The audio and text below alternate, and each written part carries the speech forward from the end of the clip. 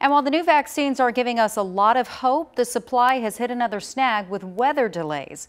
We're short about 89,000 doses here in Arizona because of it. Max Gordon shows us what that means for people here scrambling to get a shot.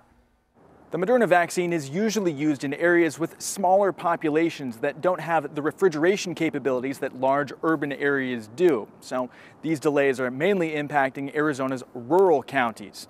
The Moderna vaccine shipments that have been delayed should arrive sometime next week. About the same time as uh, potentially next week's doses.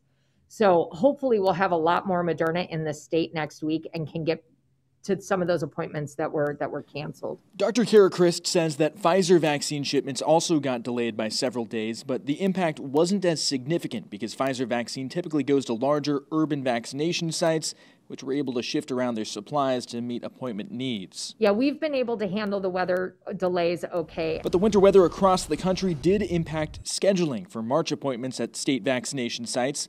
Those appointments should open up once the state has received all its delayed vaccine shipments. And we're able to get a good view of what we believe the next few weeks of um, vaccine allocation include for our Pfizer doses.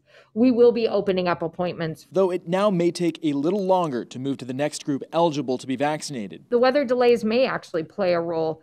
Um, we had been um, estimating moving into phase 1B on a statewide basis, keeping in mind some counties may, may not be ready to do that.